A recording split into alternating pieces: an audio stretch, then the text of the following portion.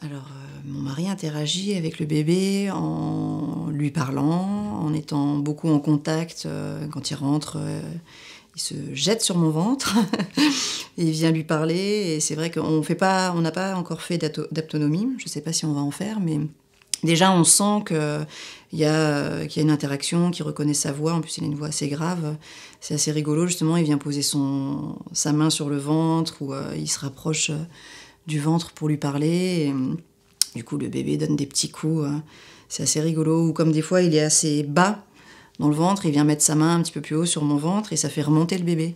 Donc euh, c'est assez magique euh, de voir ce qui peut se passer déjà, euh, même à six mois de grossesse, entre le papa et le bébé. Et lui, il est juste aux anges de voir que mon fils me reconnaît, c'est magnifique.